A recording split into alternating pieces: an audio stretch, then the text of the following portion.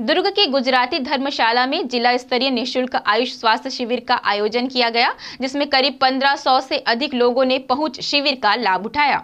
छत्तीसगढ़ शासन द्वारा जनहित में संचालनालय आयुष छत्तीसगढ़ के निर्देशानुसार जिला आयुर्वेद अधिकारी के मार्गदर्शन में एक दिवसीय जिला स्तरीय निशुल्क आयुष स्वास्थ्य शिविर, स्वास्थ्य मेले का आयोजन दुर्ग के गुजराती धर्मशाला में किया गया, जिसमें आयुर्वेद, होम्योपैथी एवं यूनानी चिकित्सा पद्धतियों के चिकित्सकों द्वारा निःशुल्क चिकित्सा एवं औषधि का भी वितरण किया गया। इसी कड़ी में जिला आयुर्वेद अधिकारी डॉक्टर जी पी तिवारी, प्रभारी डॉक्टर शैलेंद्र सिंह ठाकुर तथा नोडल अधिकारी डॉक्टर लक्ष्मी मारकंडे ने बताया कि स्वास्थ्य मेले में विशेष रूप से शिव तांडव, आर्टिस्ट योगा का प्रदर्शन किया गया तथा हिजामा कपिंग थेरेपी का प्रदर्शन किया गया। साथ ही अन्य प्रदर्शनी में आयुर्वेद औषधि पौधों का पंचकर्म चिकित्सा पद्धति का भी प्रदर्शन किया गया तथा धान्य पानक का भी वितरण किया गया। वहीं इस अवसर पर मुख्य अतिथि विधायक अरुण वोरा की अध्यक्षता में महापौर नीरज बाकलीवाल और विशेष अतिथि प्रतिमा चंद्राकर आर एन वर्मा, उपाध्यक्ष राज्य पिछड़ा वर्ग आयोग सहित अन्य उपस्थित रहे। इस अवसर पर शिविर में 20 चिकित्सक और 22 कर्मचारियों के सहयोग से कुल पंद्रह हितग्राही लाभान्वित हुए,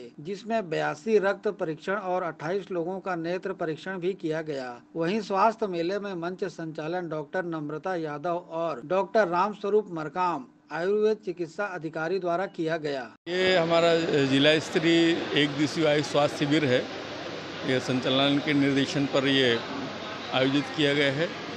कलेक्टर महोदय इसके संरक्षक हैं और प्रतिवर्ष ये ज़िले में एक जिला स्तरीय निःशुल्क शिविर आयोजित किया जाता है और अभी तक हम लोग 1144 पेशेंट देखे जा चुके हैं और जिसमें 110 जो है ना ब्लड टेस्ट और नेत्र परीक्षण का भी है। यदि अलग अलग बोलें तो यूनानी में 132 होम्योपैथी में 202 आयुर्वेद में 810 पेशेंट देखे गए हैं अभी तक। तथा क्रमशः पेशेंटों का आना लगातार जारी है। इस बीच में एक्चुअल में क्या थोड़ा पानी गिर गया, इसलिए थोड़ा सा रफ्तार अपनी कम हो गई है। तो संभव कि हमारे पास अभी लगभग लगभग एक डेढ़ घंटे का समय है तो हम लोग कम से कम 200 पेशेंट तो इस बीच में और आने की संभावना मानते हैं। में जो है, एक आयुर्वेद मेडिसिन जो होती है, उसको पेशेंट के सिर पे बूंद बूंद करके टपकाया जाता है। या अनिद्रा हो गए शिरो रोग हो गए, सिराशूल हो गए, माइग्रेन का प्रॉब्लम है जिनको। जितने भी जीर्ण सिरो रोग होते हैं, उन सब में ये बहुत फ़ायदेमंद होता है। मानसिक रोगों में भी ये बहुत अच्छा रिज़ल्ट मिलता है इसमें। 70 से 80 परसेंट इसका फ़ायदा मिलता है इस पद्धति का और साथ में फिर मौखिक रूप से भी इनको औषधि का सेवन कराया जाता है। भी वनौषधियाँ है और जैसे कफ रोग, वात रोग, पित्त रोग, जैसे ये पिपली आप देख रहे हैं, ये पौधा पिपली, ये कफ रोगों में बहुत अच्छा कार्य करता है।